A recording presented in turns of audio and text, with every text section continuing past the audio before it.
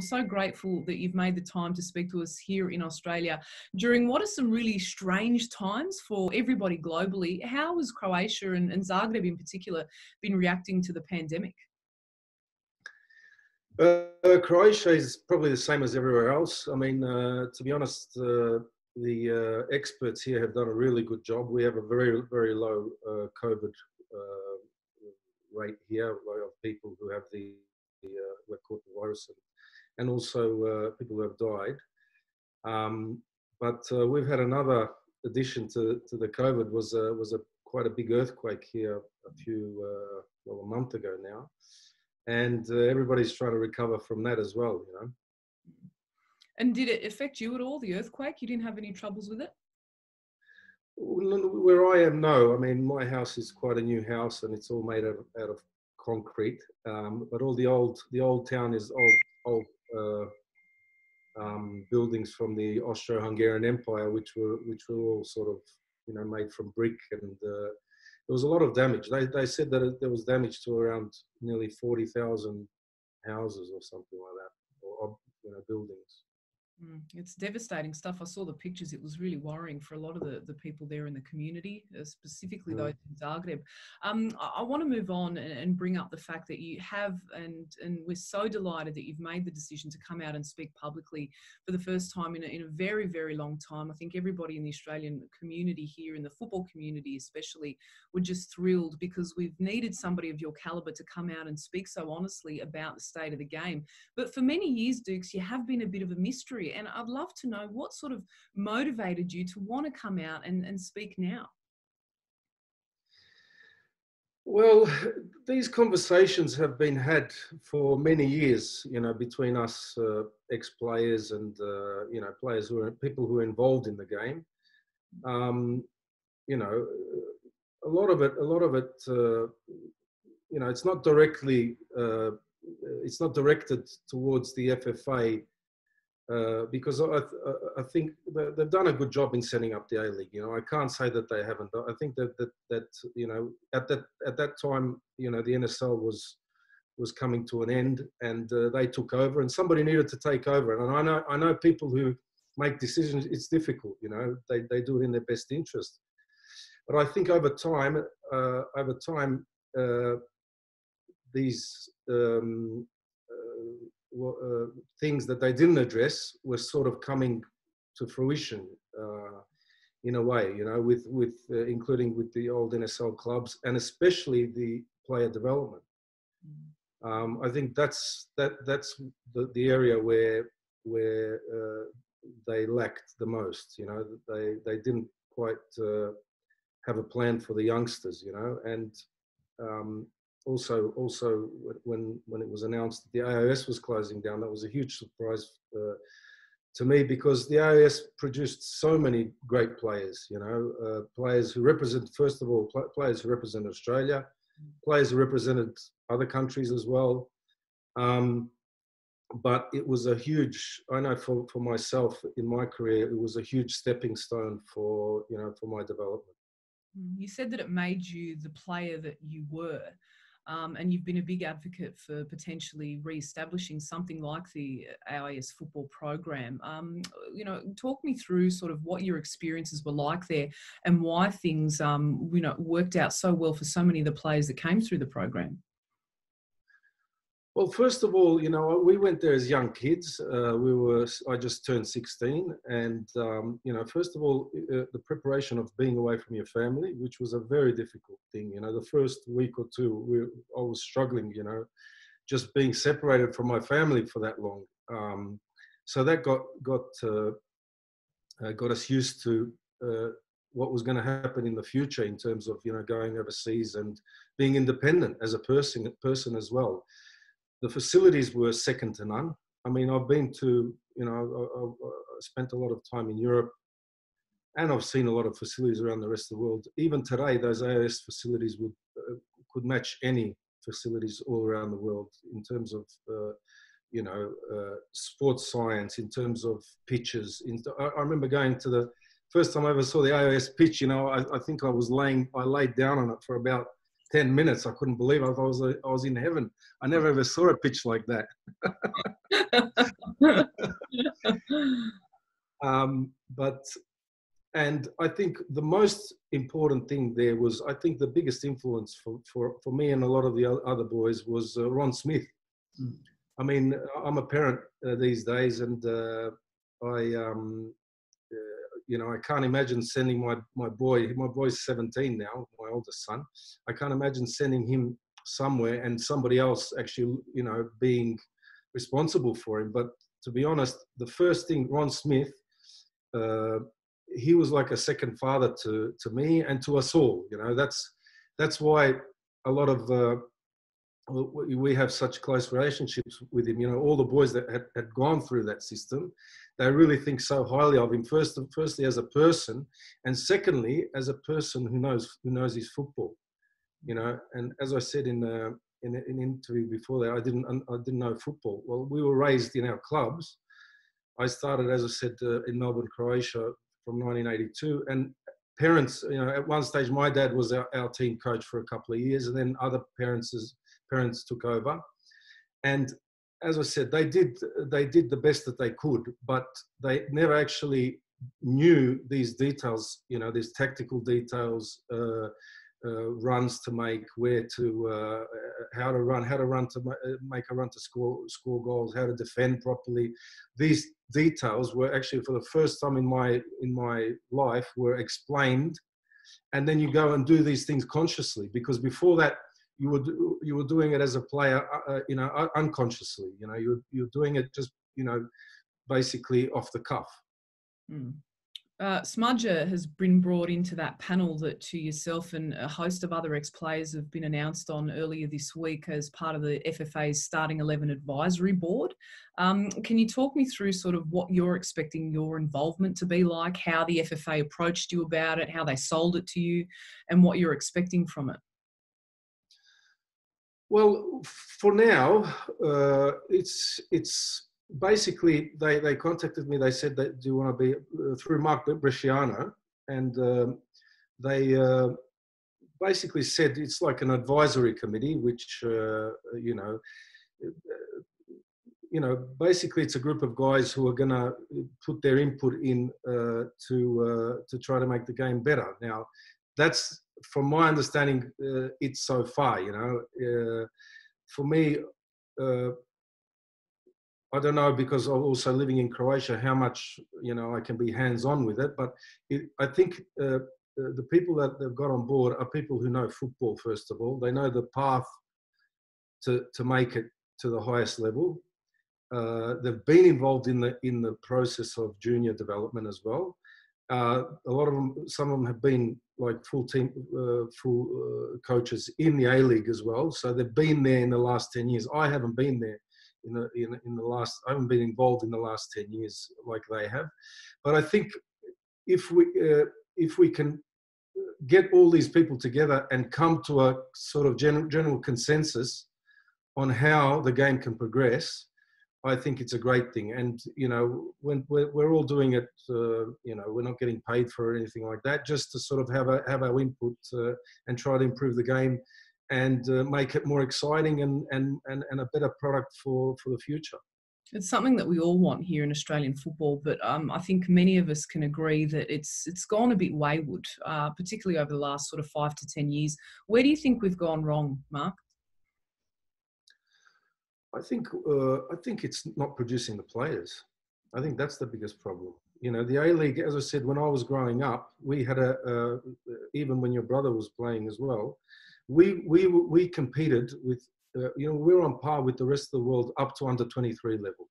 You know, and I remember watching your you know when Australia played Holland at the uh, for the Olympics qualifier when your brother scored that goal and that and that we were, we had players up until that age group. Now our problem was that in Europe, they had that the top top quality league to kick on from that level. We had the NSL, which we we it was sort of it was uh, it wasn't the same level as the one in Europe, you know. So in terms of marketing, in terms of facilities, in terms of all that sort of stuff. So that's I think that's where we sort of stagnated when it got to playing uh, the in, at, at, the NSL level, you know. Whereas today we have we have a, uh, we have all the marketing and all the television rights and all that sort of stuff in the league, but not necessarily we have those same amount of top quality players coming through to actually play in the league. You know, if I remember, even in the NSL, uh, most teams, you know, you looked at, you know, Sydney United, uh, Marconi, uh, Melbourne Knights, South Melbourne Hellas, Adelaide City, they all had good youngsters coming through and they had good systems putting the youngsters through, you know. Um, and I think that that is the biggest problem, you know, that, that they addressed the, the, the highest level, but they didn't address, you know, who who's going to play in it in the future, you know. Yeah, youth development has been a big topic of conversation at the moment, um, and that sort of stems back to the nostalgia that a lot of people have for the NSL. It goes back to what you're saying in terms of the players that we produced. I was watching actually a grand final, the '97 grand final between the Brisbane Strikers, uh, and uh, and it was fascinating to me to see uh, the squad that Sydney United had as well. Um, you know, five internationals playing in there, up against some quality individuals. I mean, I feel like the talent that we produced then as well, Mark, was just totally different different to what we're producing now. But I guess what we're trying to get to the crux of is why there's this big gaping hole now and why we're not able to, to produce players like yourself and of that era um, in, in today's standards. What do you think? Well, I think that's the, that. As I said before, the, the problem is that that it has hadn't been addressed. You know, everything was concentrated on the first league, and a lot of these old NS club, NSL clubs, which were uh, which were producing these players were just uh, you know, left to fend for themselves, you know, in in a certain way. Um, I don't think. Uh, I think in a way, as I said before, uh, they they turned their back on the old NSL clubs, you know. And I remember when I was back, you know, somebody said to me, uh, you know, something about uh, we were talking. It was a conversation about football, and they said to me, "Oh, football's only been here for 10 years. I said, Are you serious? you know, I said, where did, where did I come from? Where did, uh, you know, Paul Okon mm. come from? Where, you know what I mean? A lot of people think that just since the A League has started, football, football has started. And uh, I, I, you know, I can't see it. I can't see another way of uh, developing players unless you bring in these old clubs and set put some sort of a standard into them uh, in terms of developing some sort of a structure in terms of developing these uh, players. But there's going to be there's still going to be a, that gap between the senior A League and just see just say these NPL clubs. That altogether the standard has to has to be lifted somehow you know and, and that's that's uh, one thing that we're you know we're going to have to address even in this uh, this uh, advisory panel that we have. You know, the standard has to be lifted up. You know, if you look at these clubs, the NSL clubs, they were at the highest standard 15 years ago or 20 years ago.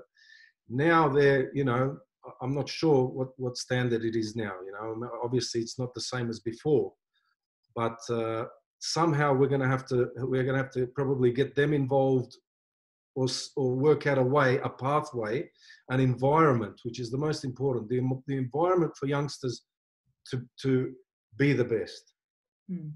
You made your debut for Melbourne Knights at 17. You won the Golden Boot for the two seasons that you were there, the Johnny Warren Medal also, uh, and you helped them win the title in 95, the club's maiden title. How do you remember your time at the club? Oh, my time at the club. I mean, I grew up at Melbourne Knights as a kid.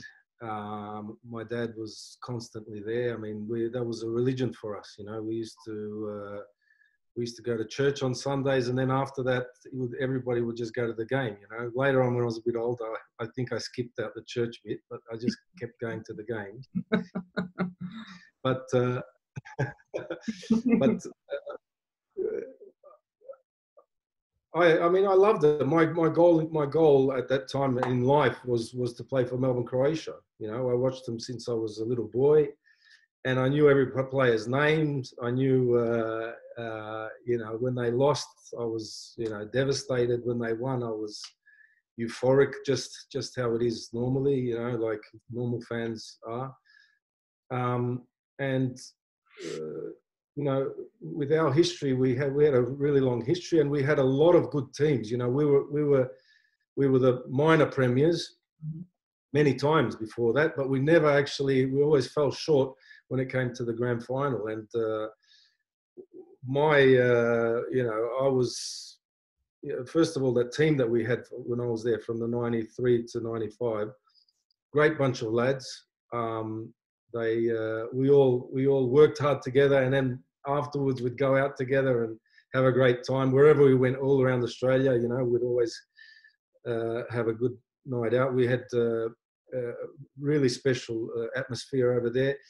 And for me, the, the icing on the cake was winning the title in 1995. That was, you know, for me being a, a follower of the club since, you know, birth, um, it, it meant everything to me.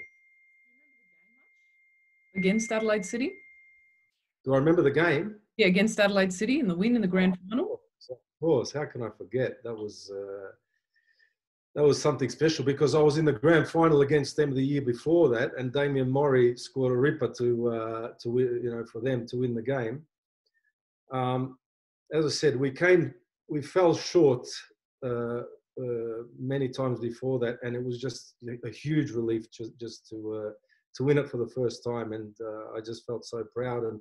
My parents were so proud. I just remember seeing my dad after the game, and his the smile on his face was, you know, that was priceless special memories. Um, from there, you ended up kicking on to Dinamo Zagreb. Uh, reports said that Franjo Tudjman was courting you endlessly, came to meet with your family, was basically desperate to get you to the club, and you had a really successful spell there.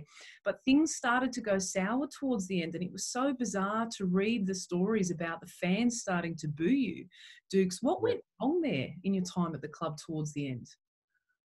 Uh, well, you've got to understand Croatia to be understand to, to understand the, the whole story. I think it's difficult for people in Australia to uh, to fathom the things that go on here. You know, in terms of uh, you know the, uh, the the mentality. You know, and uh, at the time when I came, uh, the Croatia was still in war. I mean, I came in '95 just before the big the big operation Oluja storm, mm-hmm. and um, you know people were all euphoric after winning, you know, after gaining, regaining their territory back and stuff like that. And uh, and it was great for a few years. And then uh, towards the end, uh, uh Franjo Tudjman was under a lot of pressure from from uh, you know the media and uh, things things like that. And then because I was seen as somebody who who he had brought to Croatia and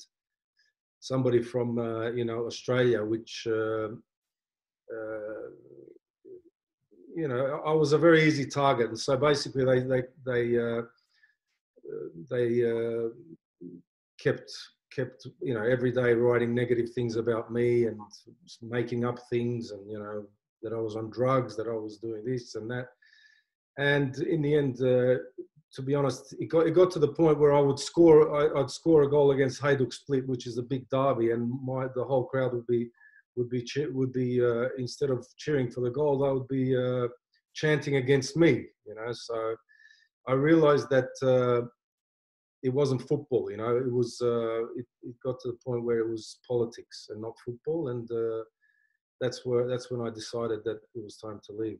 Mm. At that point, then the deal was struck between Dinamo Zagreb and Celtic, and there was a lot of argy bargy, a lot of political stuff about, you know, the fee not coming through and all this stuff. But I think the big story was you deciding to come back to Melbourne to try and get your head right. Um, what was going through your mind at that time? Well, at that time, as I said, uh, there was there wasn't much internet and all that sort of stuff around. There was information was just through the through the newspapers or, or whatever. And uh, to be honest, uh, a lot of the things that were written here, you know, I didn't didn't really communicate to my family back home because I didn't want them to worry about me. I was by myself, you know, for for you know uh, for that period. It was a very difficult period. You know, there was a lot of pressure pressure put on me. Uh, and um, and basically, I you know I came to I, I came to uh, uh, Glasgow and uh, signed for for Celtic, and I realised that you know I, I I, I, I, needed a rest from it all. You know, I needed to get my head together. I needed to uh, see my family again, and uh, and to try to sort of uh, regather you know, re- recoup and and start on to, because I went halfway through the season. You know, the Celtic was it was the the halfway break, and Celtic was that was they were during the season, and it was very difficult just to go from one situation and starting to a new situation. Um, uh, you know, out of nothing, you know, all of a sudden this is your reality, and then then next minute you're in a different, totally different reality, you know, and uh, uh, that was basically it, you know, and I needed to come back home and and to uh, recoup basically. Mm, and you had a really successful spell there. I have to ask you though, what happened in that Scottish Cup game against Inverness? The halftime bust up apparently in the dressing room. What really went on there? What happened? Uh, that's a bit, that's a big one actually. what actually happened was uh, um, the as I was walking in, it's a difficult one to explain because there's a lot lot before that. We, we were we were struggling in terms of uh, on the on on the on the pitch, whatever. At the time, I was the top scorer of the club, and um, we went into that game, and uh, uh, I think uh, I think we copped two goals maybe in the first half. I don't I don't remember it. I tried to tried to rub it out of my memory bank that uh, that game. uh, uh, so basically, it was very frustrating. Before that, we were before even games before that, we were conceding a lot of goals left, right, and centre.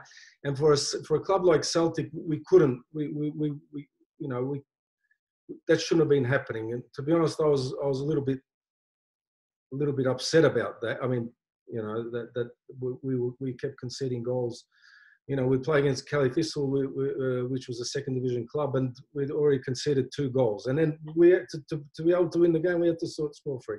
I walked in at halftime. What happened was, I walked in at halftime, and the assistant coach said to me, uh, he sort of questioned me and my my uh, uh what is it called uh, like he's basically said to me, "What's the matter, big fella? You don't uh, you, uh, you don't fancy it today."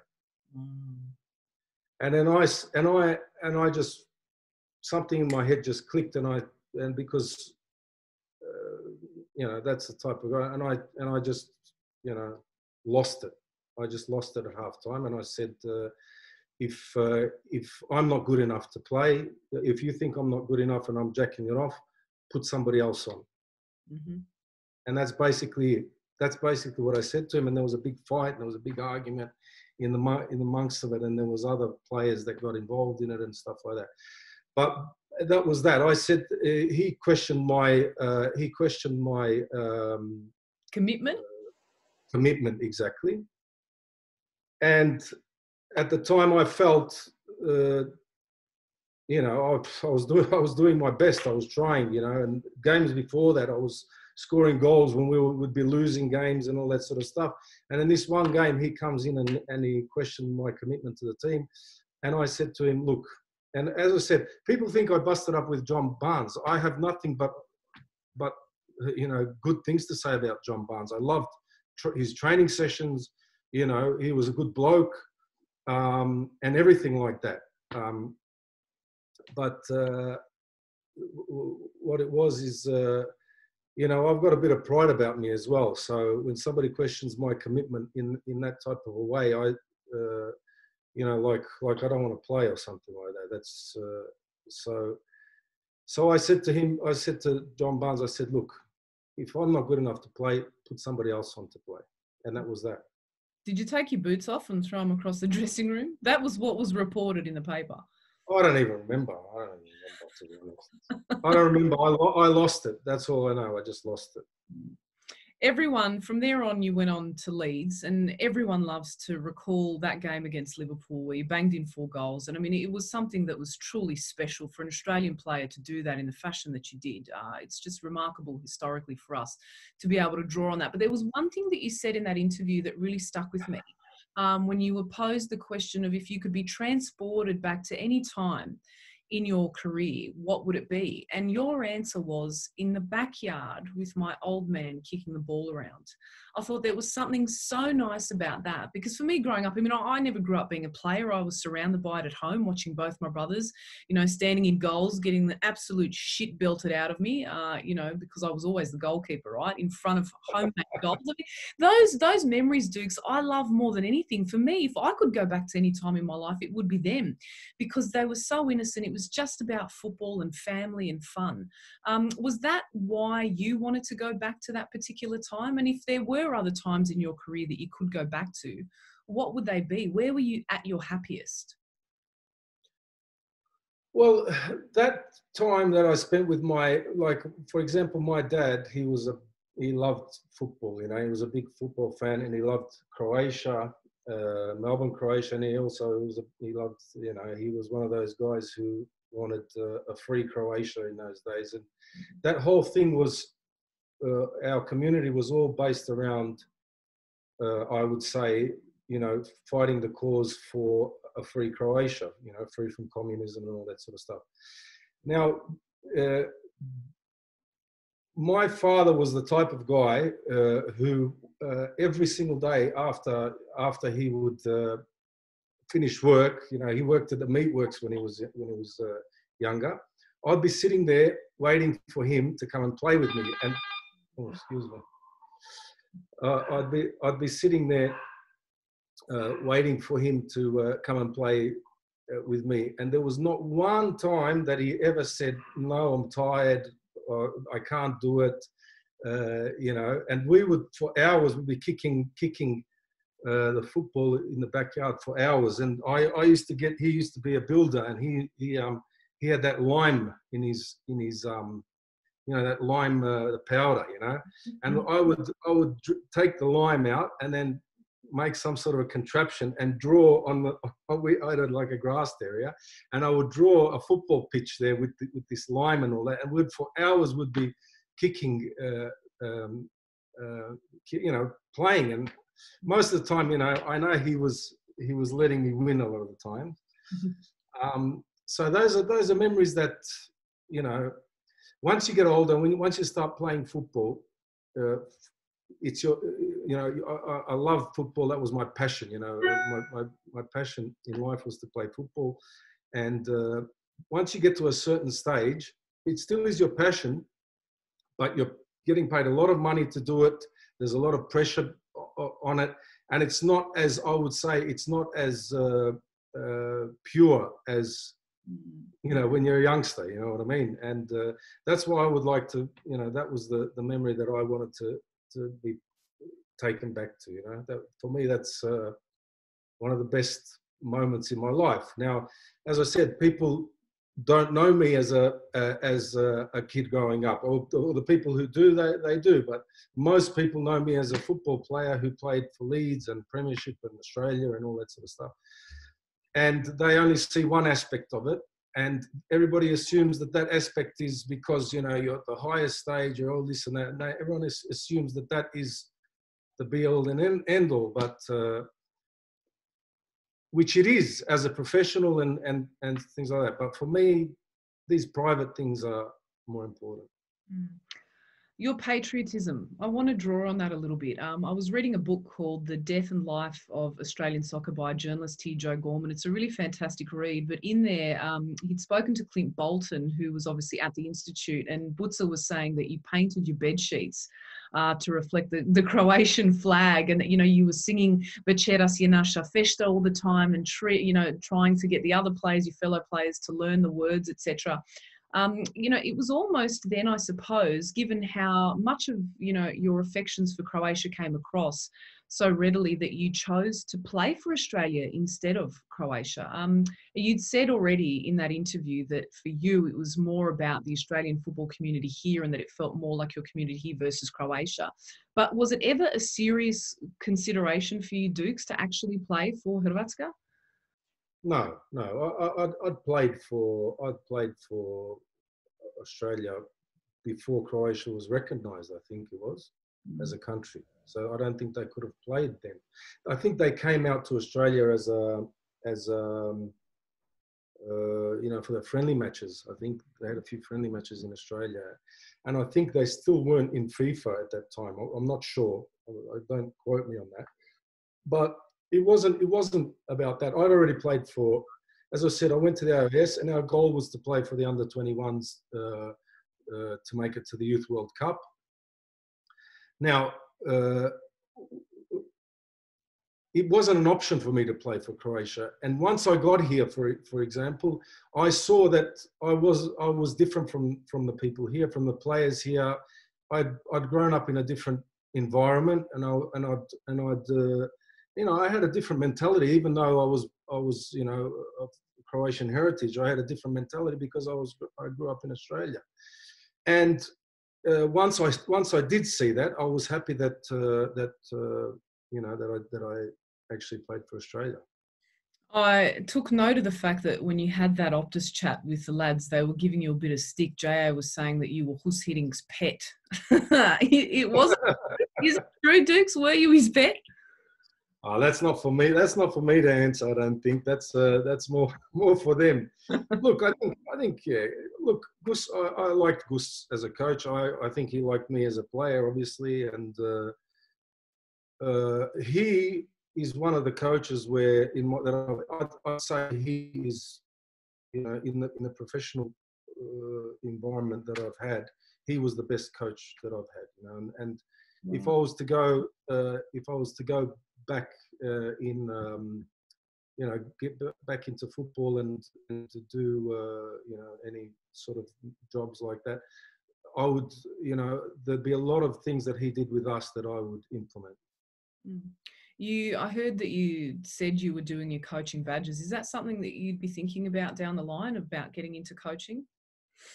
Well, the, the question is, I think, with me and and with every with a lot of the players and whoever, is that being a football manager means giving hundred percent. It's not hundred percent, two hundred percent. You know, being a player, it's it's uh, two hundred percent. Uh, but uh, being uh, being a coach is even more. You know, and uh, the lifestyle of a coach is not, you know, people think that it's all glamorous and all that, but the lifestyle of a professional coach is not glamorous at all. You know, you you're moving around, you're chopping and changing. Your kids uh, have to move schools, and uh, it's not an ideal lifestyle, especially when your kids are younger. You know, and and I, I said I said to myself when I when I finished playing football, first of all, I wanted to get out of the limelight.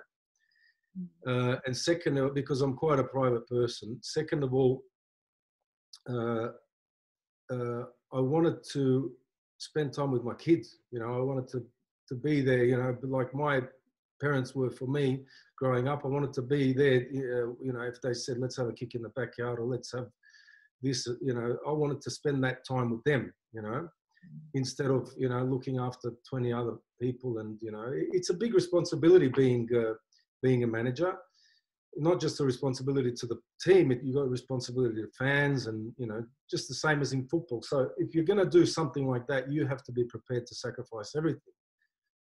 And at this point in time i'm not ready to, to, to do that. Maybe one day when my kids are a little bit older and you know they they don't really you know they start having their own lives and all that maybe some maybe i'll get back into it in a in some sort of capacity.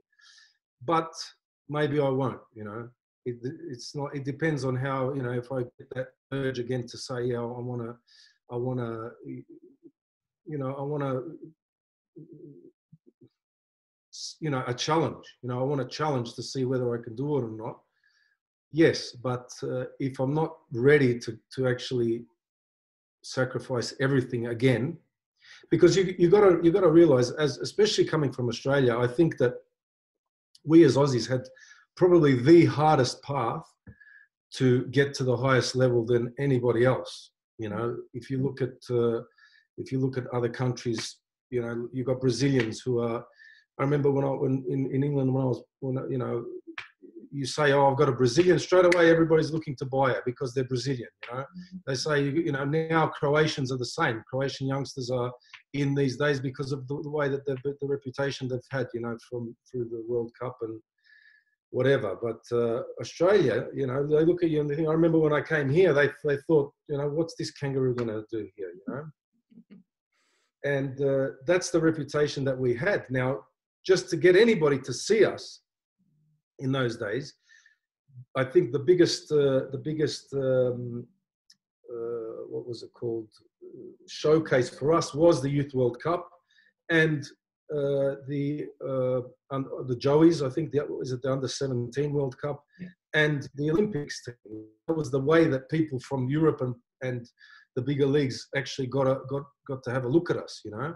And from there, you've got it's it's a hard path, you know, especially for us who uh, didn't have European Union citizenship and all that. We had to play 75% of our national team games just to be able to get a work permit in these countries, you know. So it was a huge sacrifice. We left our family, we left our homes. You know, we, I hear stories about people in England who they come from London and they, they play a couple of years in Europe, in, in the north, and then they start saying how, uh, how uh, you know, they want to move back down south because they, they miss their families, you know. And I'm thinking it's a three hour drive or whatever. So we, from a young age, had to leave all that behind and sacrifice everything.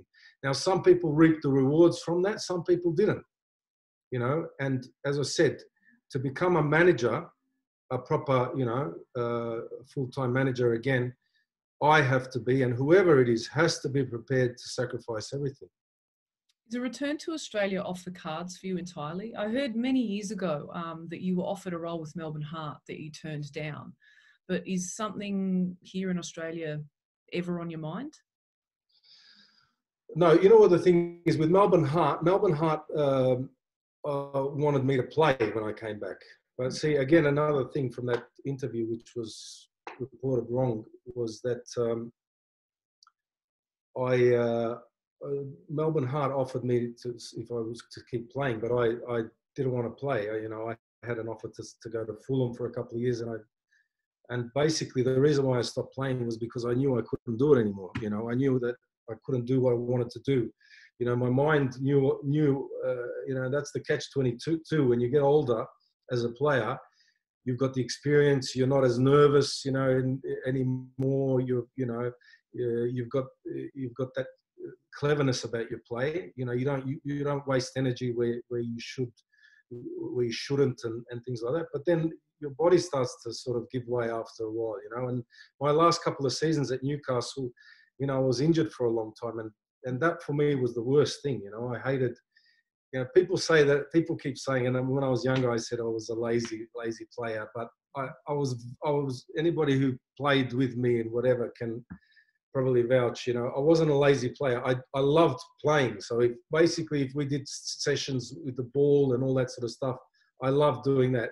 What I didn't love was I didn't love when they said to you, "Go and do 50 laps," or yeah. "Go and do," uh, you know, 20 sprints or and that that stuff I didn't love. But give me the ball all day, I'll be I'll be out there, you know. And that was that was the difference.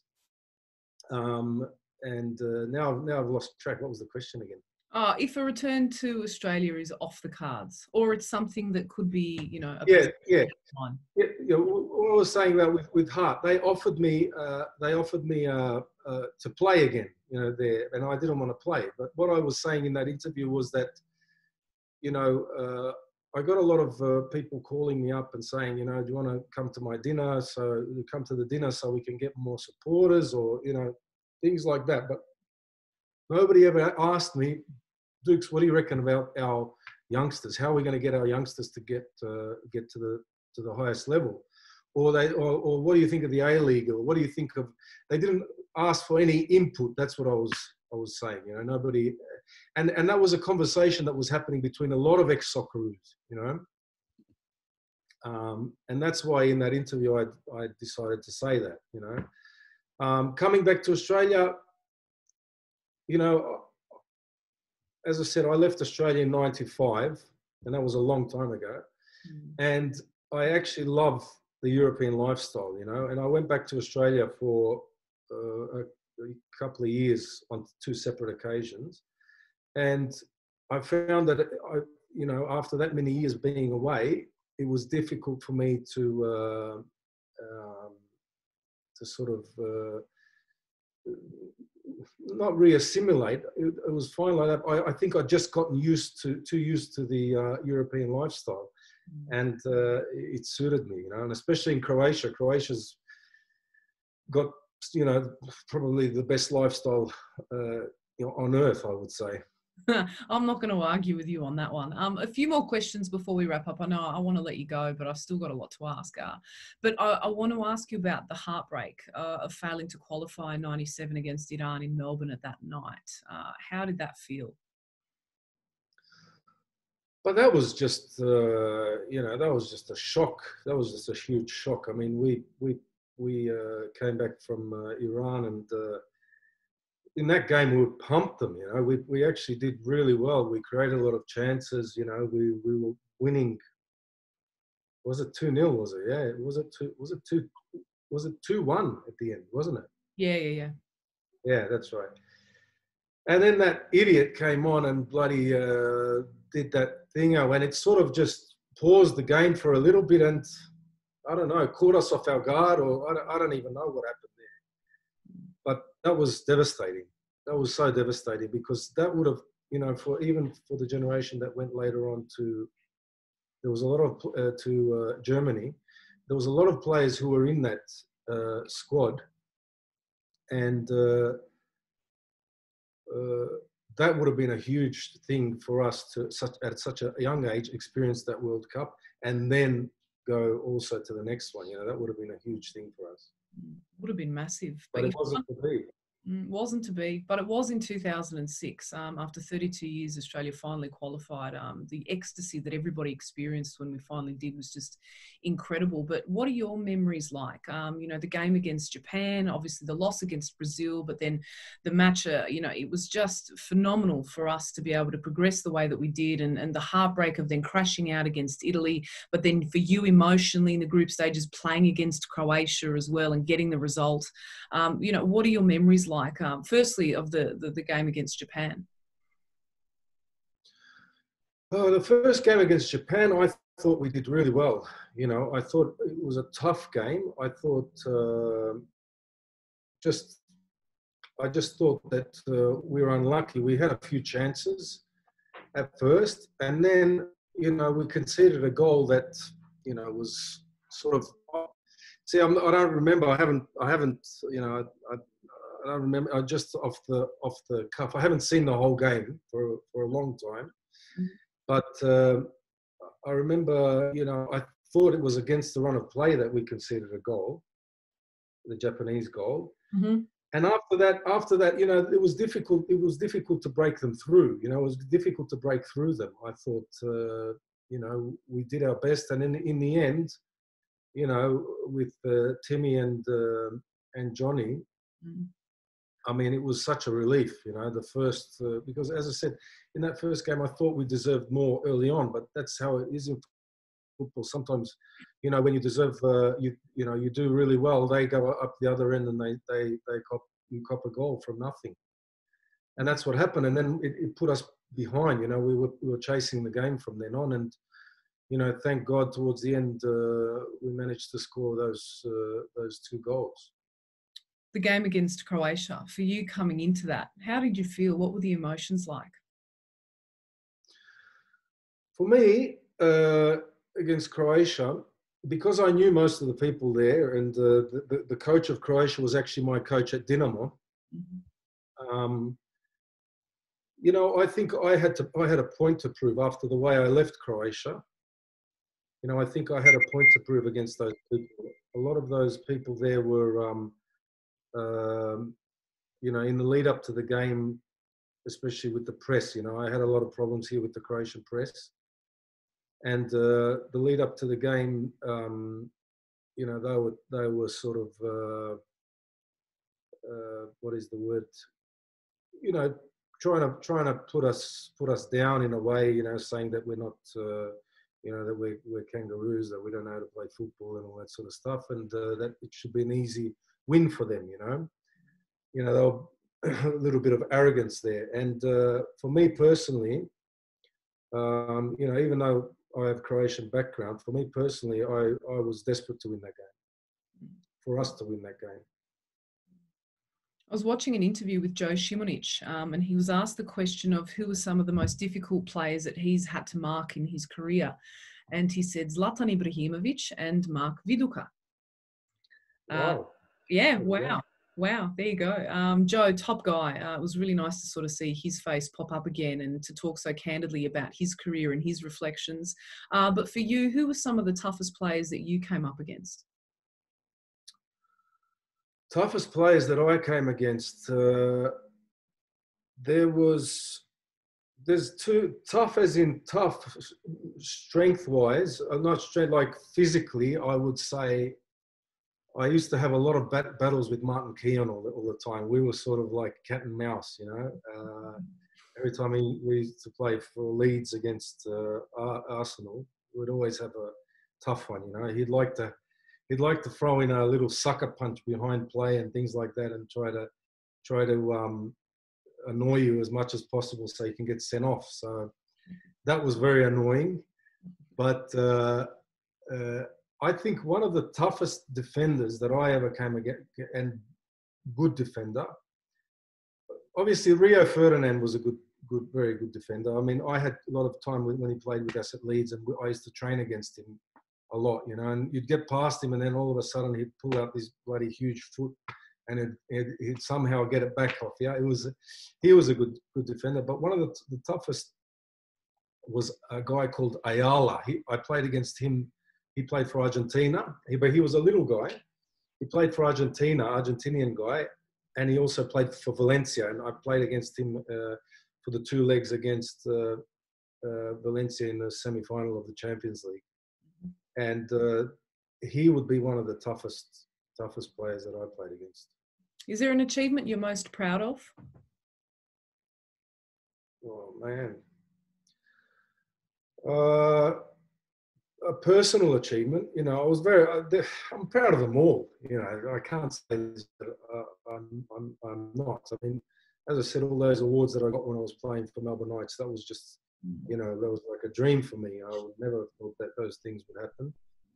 But um, I would say the one of the mo- the achievements was when I was voted Scottish Footballer of the Year, and when I was to- ended up top scorer in, in, Scotland. That's probably the achievement, uh, one of the most satisfying things uh, for me uh, in my career because uh, because I, I, went down to a lot of you know a lot of uh, a big cloud of uh, you know controversy and all that sort of stuff because of when I went back to Australia and and you know it was basically you know I, I, first of all the Celtic fans supported me the whole way you know and I've heard a lot of people saying uh, you know a lot of comments negative comments and all that sort of stuff about my time over there. But I would I'd like to say you know that I gave you know my all when I at that club you know and in the end I was voted by the, the fellow players as the player of the year you know for the for the whole league. And uh, you know I really had a point to prove when I when I went there you know because because of all that thing at the start and you know that was the most satisfying for me any regrets any clubs that you'd wished you'd played at, leagues potentially that you could have played in, um, deals that fell through that you wish now in hindsight actually Look, came through? You know what? Things. Uh, the thing is with people, people uh, who aren't in the football game, uh, they don't realise that when when a deal's made, uh, I think the least amount is the, the, the, least amount of influence is from the player. You know, it's basically the, the two clubs have to come to an agreement. And, uh, you know, obviously if somebody's interested in the player, they approach you and they, you know, they, they ask, would you want to do it? But then afterwards, it they have to come to come to agreement with a transfer fee or, uh, you know, and you have to come to an agreement with wages with them and all that sort of stuff. So there's a lot of factors that happen, you know. And I, as I said, I had offers from, you know, in that time there was offers from heaps of clubs. It wasn't just the two that were mentioned in that interview. But um, you know what? things happen for a reason, I think, you know. And it, the, the, thing is that uh, um, you uh, sometimes, you know, you, you you you can't control them. And uh, you know what? I'm I'm very very happy that I that I played for Leeds at that time. Very happy. All, all the clubs I played for, you know, Melbourne, Croatia, Melbourne Knights, uh, AIS, uh, Dinamo Zagreb, uh, Celtic, uh, Leeds United, Middlesbrough, and Newcastle. I am very proud that I represented all of those clubs. Very, very proud. That was my path, you know, and uh, you know, I'm no regrets whatsoever.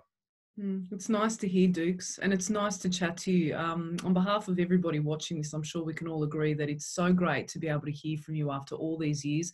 As we say in the mother country, Svakati Chast. I wish you all the very best. I hope you and your family are holding up really well back in Zagreb. Um, you know, and it'd be great to have you back out to Australia. You're welcome here anytime. So thank you for your time today. I really appreciate it. Thank you very much, Lucy. It was a pleasure.